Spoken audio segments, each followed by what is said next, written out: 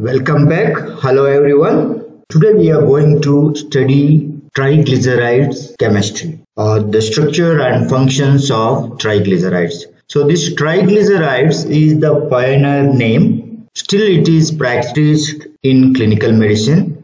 Whereas International Union of Biochemistry they have given triacyl glycerol. That means there are three. Tri means three. Acyl means fatty acid. So there are three fatty acids attached to glycerol. So what is this triglycerides? We already studied the classification of lipids.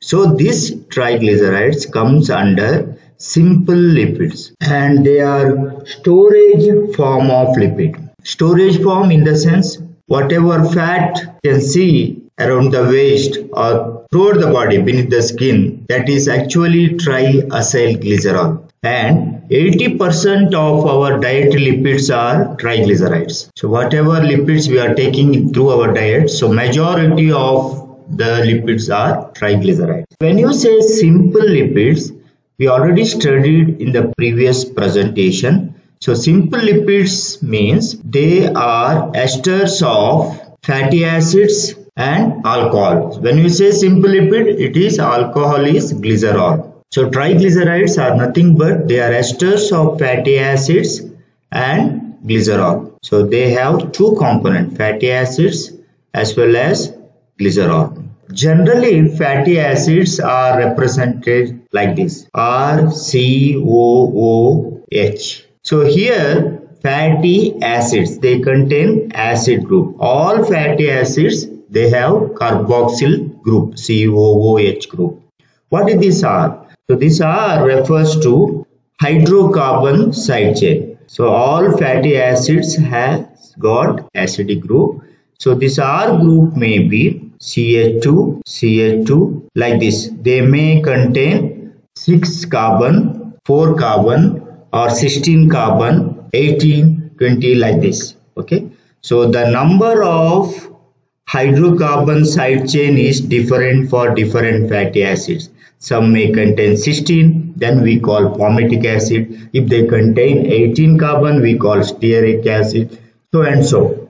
So that means the general structure of fatty acids are same. They contain hydrocarbon side chain and carboxyl group. So we represent fatty acids as RCOOH. So triglycerides, they are made up of fatty acids and glycerol. So what is this glycerol? So glycerol, it is an alcohol. So I can write like this CH2OH, CHOH, again CH2OH. Here it has got three carbon, carbon number 1, carbon number 2, carbon number 3. So also called it is alpha, beta, alpha dash. So this is the structure of glycerol. So triglyceride structure is nothing but esters of fatty acids especially in triglycerides three fatty acids. Acyl means fatty acids. Esterified especially carboxylic group of the fatty acid esterified with hydroxyl group of glycerol. So now these R may be same for all three or may be different. If the all the three fatty acids are same and they are esterified with three different hydroxyl group of glycerol. Then we call simple triglyceride okay? If and all these three fatty acid at they are different then we call mixed triglycerides. There may be a different fatty acid or there may be a saturated fatty acids here. There may be unsaturated fatty acids and there may be a saturated fatty acid. we are going to study how this esterification will form so i will write here once again fatty acids so we know that triacyl glycerols, that means three fatty acid. I will write here three fatty acid. Okay. So let me consider all these three fatty acids are different fatty acids. So R1 COOH and I will write here glycerol. So this is glycerol. Now we have three fatty acids and I will write another fatty acid and this is the third fatty acid. So triglycerides are nothing but esterification of three fatty acids with alcohol glycerol. So esterification is carboxyl group of one fatty acid combines with hydroxyl group. So there will be formation of ester bond between these two groups now. You see how they will form. So the ester bond is formed. So you can see here if you remove these when they form ester bond so this will become H2O. That means there will be release of one molecule of water. So the ester bond looks like this now. So now this is our ester bond. You can see R, C, double bond O, O, CH2. So we have removed the one water molecule while forming ester bond. Now only one fatty acid is esterified with one hydroxyl group of glycerol. Now this is called monoacyl glycerol. So that means only acyl means fatty acid, mono means one. One fatty acid is esterified with one hydroxyl group of glycerol. Similarly, if you take the this second fatty acids, it can be esterified with the second hydroxyl group attached to carbon number 2. These fatty acid combines are esterified with hydroxyl group of carbon number 2 of glycerol. Then this HO and this H will be released as water. So this is our another ester bond. So the fatty acid, the second fatty acid esterified with the hydroxyl group attached to the carbon number 2. Now we call we will not call monoacyl glycerol because two fatty acids are attached to two hydroxyl groups. So we call diacyl glycerol. So di means two, acyl means fatty acid. You can see R1 and R2. Similarly, the last fatty acid, it can be esterified with the hydroxyl group of the carbon number 3 of the alcohol glycerol. Now we have triacyl glycerol. And remember, when the three fatty acids are attached, there will be release of three molecule of water. So this is esterification of fatty acid with glycerol. So we have now three fatty acids are esterified with the alcohol group of glycerol. We have triacyl glycerol. Tri means 3 Acyl means fatty acids. So R1 COOH, R2 COOH, R3 COOH. So what is ester bond? Ester bond is nothing but bond between carboxyl group and the hydroxyl group of alcohol.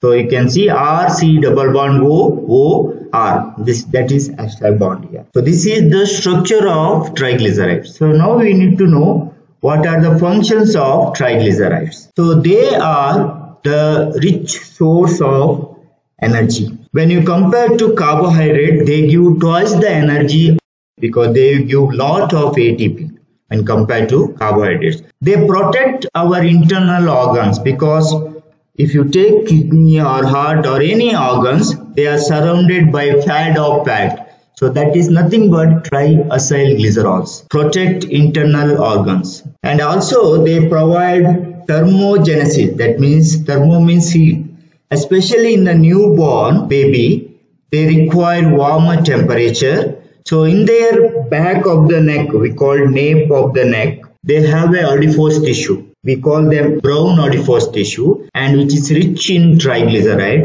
as soon as newborn baby is born these triglycerides undergo hydrolysis they will give fatty acid and undergo metabolism while doing so, they will produce heat. So that will help baby to keep in warm environment.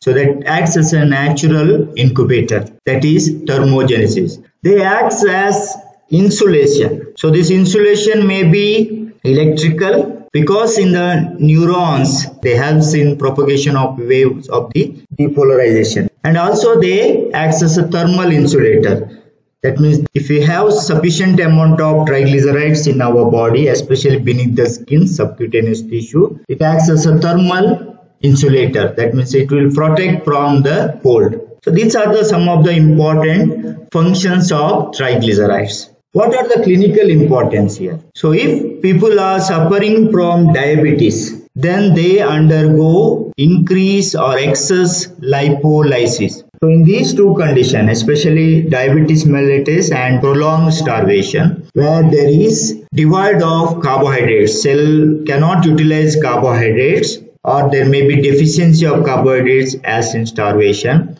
So our body or our tissue utilizes ketone bodies. For this, there is breakdown of fatty acids which are attached to glycerol and stored in our body in the form of triacylglycerol. This is called lipolysis. Normally in our body, lipogenesis and lipolysis takes place continuously. But during these two conditions, diabetes mellitus and starvation, there is excess lipolysis. If our liver produces more and more triglycerides, then there may be deposition of these fat into the liver. It is called fatty liver. So fatty liver is nothing but excess production and deposition of these triglycerides inside the liver. And if you take more and more carbohydrate diet, then all carbohydrates are converted to fatty acid and they deposited in our waist, abdomen, so it is called obesity in obese person. There may be 15 to 20 kgs of only fat that is nothing but triglycerides. So excess lipolysis, if excess triglycerides are deposited we call fatty liver.